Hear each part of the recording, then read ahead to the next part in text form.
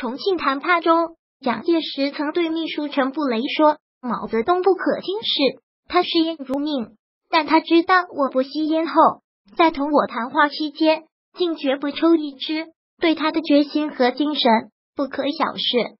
胸中藏有大志的人，往往是一个很自律的人。自律的人既可怕又可敬。如果是伙伴，你要跟他学会律己；如果是对手，你要做好足够的心理准备。灵异自律可以让我们活得更高级。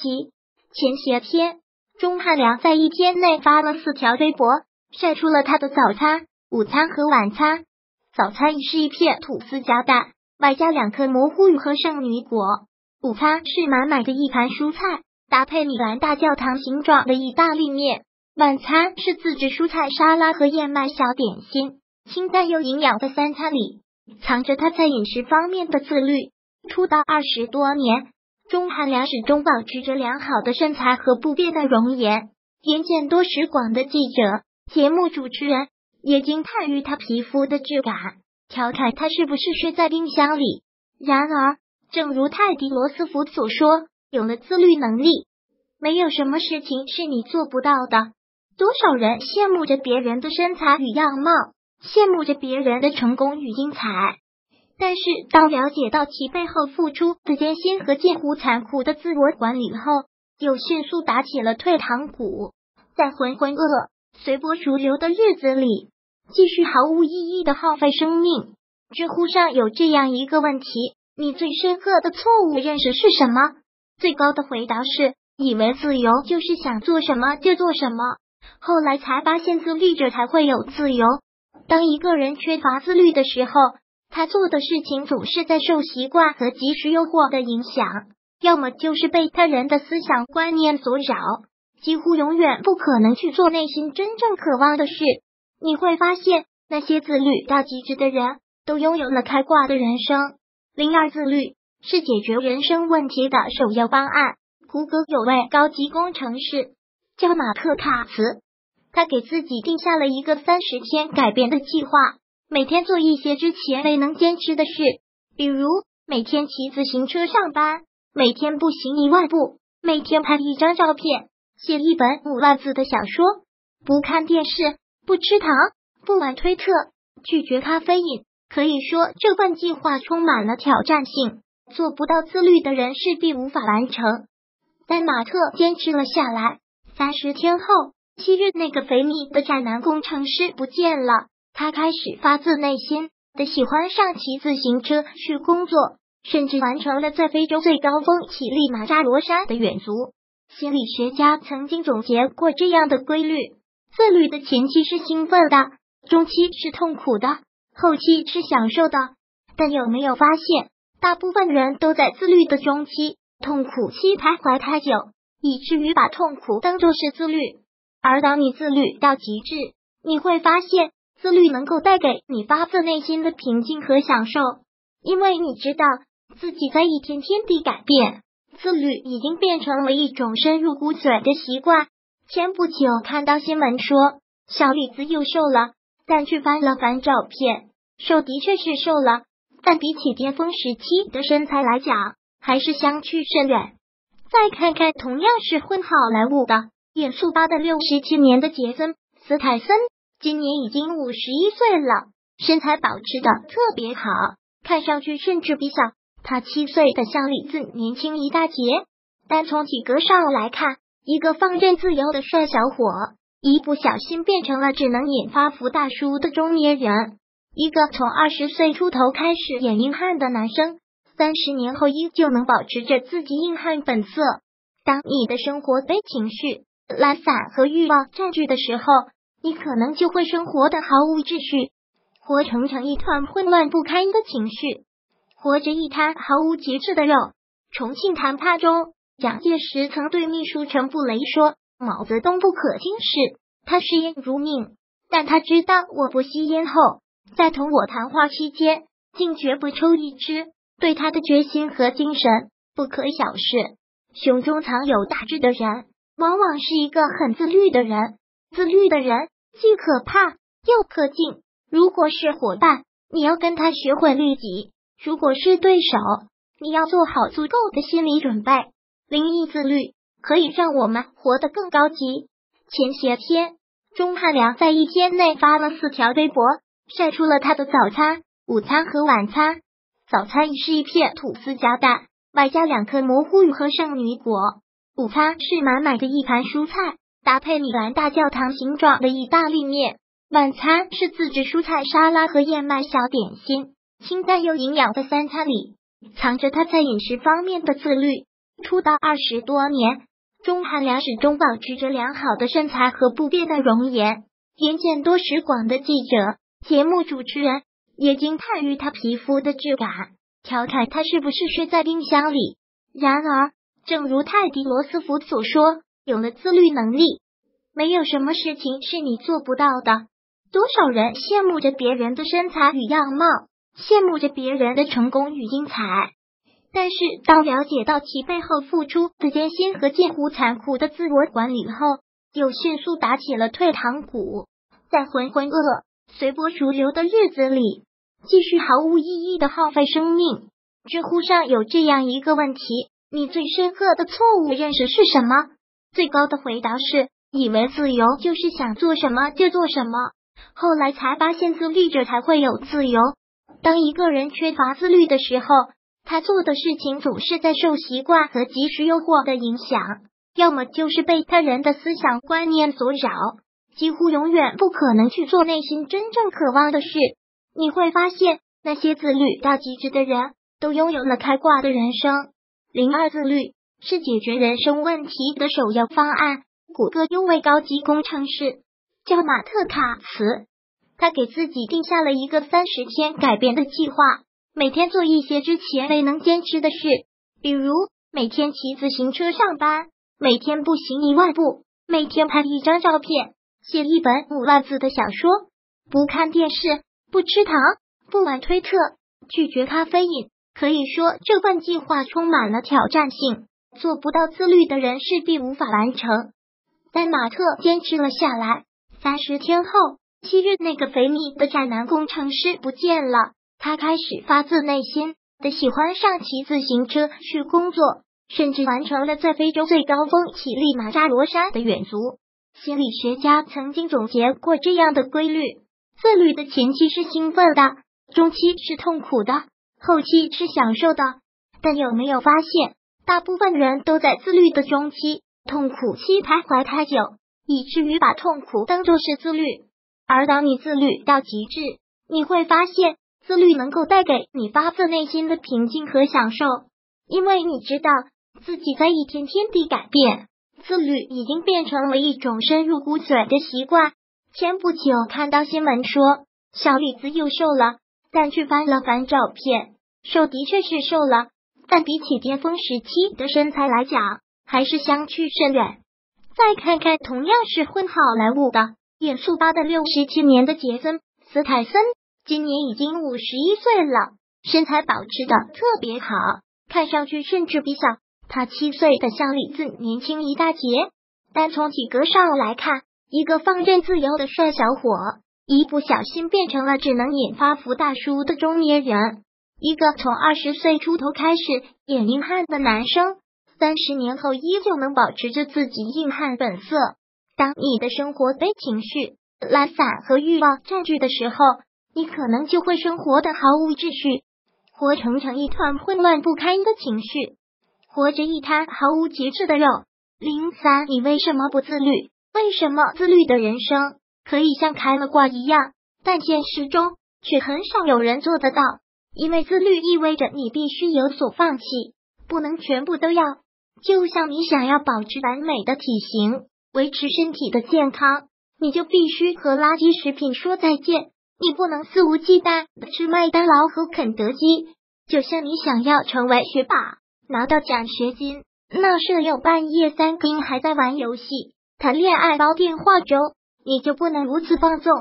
就像你毕业后想要拥有自己的事业，那你必须在周末的时候继续加班研究自己的感兴趣的领域。同事发起的聚会。你都得加以拒绝。这个世界上太多事情是不可能面面俱到的，你必须有所放弃。但人作为一种社会性动物，十分厌恶损失带来的阵痛感。一个人得了两千元钱和丢了两千元钱对内心的冲击，哪个更大？显然，丢钱冲击更大。真可谓相同得失，不同影响。心理学研究表明，同样的得失，失的影响是得的两倍。由此看出，人对损失更敏感，这就是损失厌恶。基于这样的一种本性，很多人不断被他牵着鼻子走。于是，我们一边狼吞虎咽的吃着垃圾食品，一边幻想自己拥有八块腹肌，一边和舍友通宵达旦的 L O L，一边期盼着期末考试可以门门功课都过九十分，一边和同事周周出去 K T V 游山玩水，一边希望自己能够在三十岁前实现财务自由。这样的痴人说梦，你不知道走过几次。知乎上曾经大热过这样的一个回答。既然整天不思进取、浑浑噩噩，没有半点目标可言，就不要做什么英雄式的梦，好好的甘于平庸。既要前程似锦，又要毫不费力，你早不上天。年轻的时候，我总以为什么都想要，都后来才发现，真正厉害的人懂得为人生做减法，知道哪些东西不该要，哪些东西即使拼了老命也要去争取的。零死自律其实并没有那么难。自律这件事情不仅仅局限于肉体或者是时间，更重要的是思维模式的修正和改变。只有思维转变了，才会从时间、精力、情绪和身材各个方面都形成自律思维。自律本身就是一件艰苦的事情，因为自律意味着你需要和自己的天性做斗争。这些天性包括懒惰。好吃、贪婪和愤怒等等，是对自己欲望的节制。所以，自律从来不是一件容易的事情，相反，它非常艰难。就像我们常见的各种二十一天打卡训练营，最终坚持下来的都不到三分之一。更别说当把时间轴拉长，拉到一百天或者更长的时间线上，能坚持下去的幸存者还有多少？那么。如何才能将自律坚持到极致？一设立具体目标，坚持无一例外原则。我的表妹小蕊每天嚷嚷着减肥，却从未成功过。原因之一，想必就在于没有设定具体的目标。无数研究显示，当人们用具体的条文对他们的目标进行定义后，他们成功的可能性就会大大增加。大多数制定了明确目标的减肥者，比如。我要在两个月内瘦下十斤，会比那些目标含糊不清的减肥者减肥效果要好得多。目标明确是很重要的，因为明确的目标可以减少思想上的歧义和执行中的变异。设定目标之后，需要坚持无一例外的原则。比方说，目标是在两个月内瘦下十斤，就坚持在达到减肥目标之前，一点甜点都不吃。如果不坚持这项原则，那么每次面对甜点时，都必须决定是否要放纵自己。在进行考虑的过程中，将会耗费能量，而这些能量是维持毅力的关键。所以，一旦给自己下了绝对不破例的原则，就不会再把能量花在一遍又一遍无休止的自我纠结上。那些自律到极致的人，都坚持了无一例外原则。蔡依林从不吃任何有油的食品，甚至有三年的时间内没有吃过米饭。杨丽萍为了呈现最完美的舞蹈，几乎没有吃过一顿饱饭。刘德华为了保持身材，几十年来都保持着每天一杯酸奶的习惯。一旦你对某件事情百分之百的投入，那就不可能再有例外。事情已成定局，再也没有商量的余地。放纵如沙岛。自律如抽丝，不要给自己找借口放纵，对自己严格一点，让自律成为一种习惯原则。二一次只完成一项任务，不要过多消耗业力。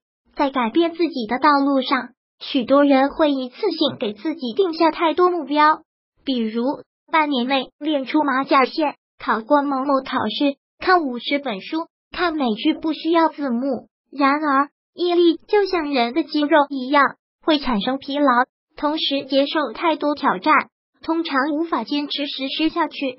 有一个著名的实验，一百个人被随机分为三组，A 组中的每个成员都得到了一盘小萝卜，并被要求全部吃光；B 组中的每个成员都得到了一盘饼干，并被要求全部吃光；C 组中的每个成员可以选择他想要吃的东西，或者什么都不吃。在所有的萝卜和饼干都被吃光以后，每个人都被要求解答同一道难题。这道难题实际上根本没有答案。B 组和 C 组的人在猜了大约十五分钟之后放弃，A 组的人只猜了七分钟就缴械投降了。研究者从这次实验中得出结论：A 组成员已经耗尽了所有的毅力去吃掉那些萝卜。而 B 组和 C 组成员仍有大量的毅力去解那道难题。意志力就像手机的剩余电量一样，每天早晨你都是充满电的。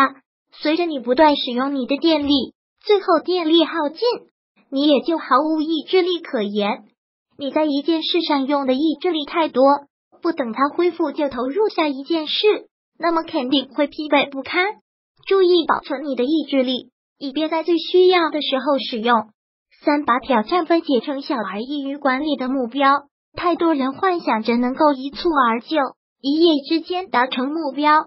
当完成了一个任务所需的时间跨度很长、难度很大时，许多人容易半途而废。这个时候需要学会对任务进行分解。日本著名的马拉松运动员山田本一曾在自传中写到自己成功的秘密：每次比赛前。我都要乘车把比赛的路线仔细看一遍，并把沿途比较醒目的标志画下来。比如，第一标志是银行，第二标志是古怪的大树，第三标志是一座高楼。这样一直画到赛程的结束。比赛开始后，我就奋力向第一个目标冲去。到达第一个目标后，我又以同样的速度向第二个目标冲去。四十多公里的赛程。被我分解成几个小目标，跑起来就轻松多了。开始，我把我的目标定在终点线的旗帜上，结果跑到十几公里的时候就疲惫不堪了，因为我被前面那段遥远的路吓到了。通往目的地的道路是由许多细小的、易于管理的步骤组成的，不要总想着毕其功于一役，慢一点，稳一点。关键在于把大目标分解成易于消化。循序渐进的小目标，零五自律，人生自由的必经之路。以前总觉得人生苦短，应及时行乐。今朝有酒今朝醉，人不风流枉少年。直到后来，我渐渐发现，每一个不自律的行为，都会给你带来更大的痛苦。长期暴饮暴食，缺乏运动，会让你不得不为自己的健康付出代价。熬夜打游戏，刷微博。带来的是第二天的无精打采、浑浑噩噩，没有目标，得过且过，会让你迷失方向，日渐空虚。设计师山本耀司说：“我从来不相信什么懒洋洋的自由，我向往的自由是通过勤奋和努力实现的更广阔的人生。我要做一个自由又自律的人，靠势必实现的决心认真的活着，不要做欲望的奴隶。自律可以令我们活得更高级。”点评：终于发现，自由的本质不是放纵自己，不是无所不为，而是自律之后的舒畅，是有所为，有所不为。零三，你为什么不自律？为什么自律的人生可以像开了挂一样，但现实中却很少有人做得到？因为自律意味着你必须有所放弃，不能全部都要。就像你想要保持完美的体型，维持身体的健康。你就必须和垃圾食品说再见。你不能肆无忌惮吃麦当劳和肯德基。就像你想要成为学霸，拿到奖学金，那舍友半夜三更还在玩游戏、谈恋爱、煲电话粥，你就不能如此放纵。就像你毕业后想要拥有自己的事业，那你必须在周末的时候继续加班研究自己的感兴趣的领域。同事发起的聚会，你都得加以拒绝。这个世界上太多事情是不可能面面俱到的，你必须有所放弃。但人作为一种社会性动物，十分厌恶损失带来的阵痛感。一个人得了两千元钱和丢了两千元钱对内心的冲击，哪个更大？显然，丢钱冲击更大。真可谓相同得失，不同影响。心理学研究表明，同样的得失，失的影响是得的两倍。由此看出，人对损失更敏感，这就是损失厌恶。基于这样的一种本性，很多人不断被他牵着鼻子走。于是，我们一边狼吞虎咽的吃着垃圾食品，一边幻想自己拥有八块腹肌，一边和舍友通宵达旦的 L O L，一边期盼着期末考试可以门门功课都过九十分，一边和同事周周出去 K T V 游山玩水，一边希望自己能够在三十岁前实现财务自由。这样的痴人说梦，你不知道走过几次。知乎上曾经大热过这样的一个回答。既然整天不思进取，浑浑噩噩，没有半点目标可言，就不要做什么英雄式的梦，好好的甘于平庸，既要前程似锦，又要毫不费力，你找不上天。年轻的时候，我总以为什么都想要，都后来才发现，真正厉害的人懂得为人生做减法，知道哪些东西不该要，哪些东西即使拼了老命也要去争取的。零四自律其实并没有那么难。自律这件事情不仅仅局限于肉体或者是时间，更重要的是思维模式的修正和改变。只有思维转变了，才会从时间、精力、情绪和身材各个方面都形成自律思维。自律本身就是一件艰苦的事情，因为自律意味着你需要和自己的天性做斗争。这些天性包括懒惰。好吃、贪婪和愤怒等等，是对自己欲望的节制。所以，自律从来不是一件容易的事情，相反，它非常艰难。就像我们常见的各种二十一天打卡训练营，最终坚持下来的都不到三分之一，更别说当把时间轴拉长，拉到一百天或者更长的时间线上，能坚持下去的幸存者还有多少？那么，如何才能将自律坚持到极致？一设立具体目标，坚持无一例外原则。我的表妹小蕊每天嚷嚷着减肥，却从未成功过。原因之一，想必就在于没有设定具体的目标。无数研究显示，当人们用具体的条文对他们的目标进行定义后，他们成功的可能性就会大大增加。大多数制定了明确目标的减肥者。比如，我要在两个月内瘦下十斤，会比那些目标含糊不清的减肥者减肥效果要好得多。目标明确是很重要的，因为明确的目标可以减少思想上的歧义和执行中的变异。设定目标之后，需要坚持无一例外的原则。比方说，目标是在两个月内瘦下十斤，就坚持在达到减肥目标之前，一点甜点都不吃。如果不坚持这项原则，那么每次面对甜点时，都必须决定是否要放纵自己。在进行考虑的过程中，将会耗费能量，而这些能量是维持毅力的关键。所以，一旦给自己下了绝对不破例的原则，就不会再把能量花在一遍又一遍无休止的自我纠结上。那些自律到极致的人，都坚持了无一例外原则。蔡依林从不吃任何有油的食品，甚至有三年的时间内没有吃过米饭。杨丽萍为了呈现最完美的舞蹈，几乎没有吃过一顿饱饭。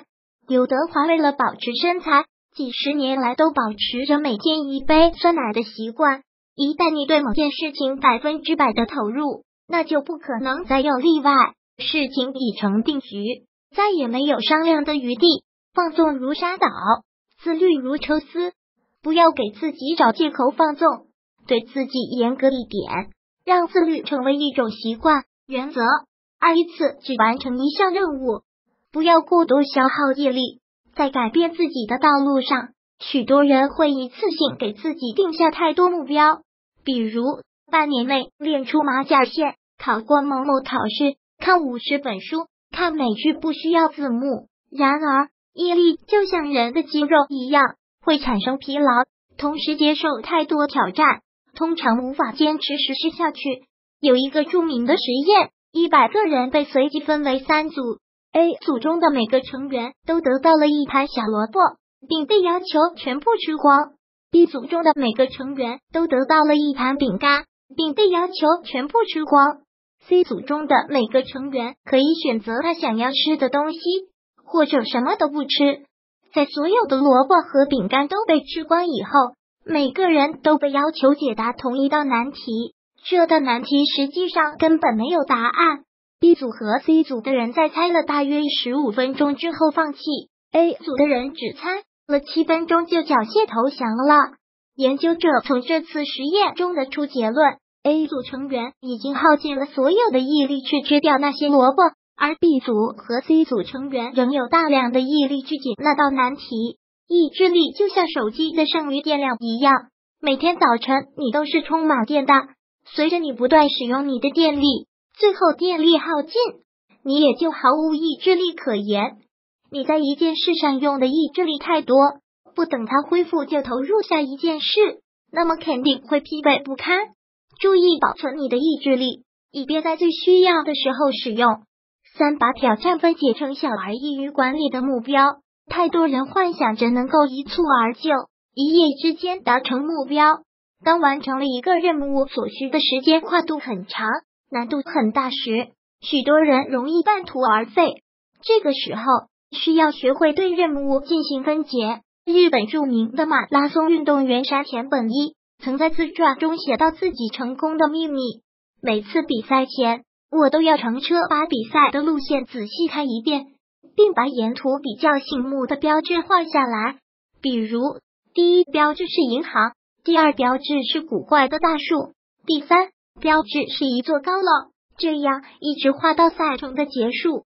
比赛开始后，我就奋力向第一个目标冲去。到达第一个目标后，我又以同样的速度向第二个目标冲去。四十多公里的赛程。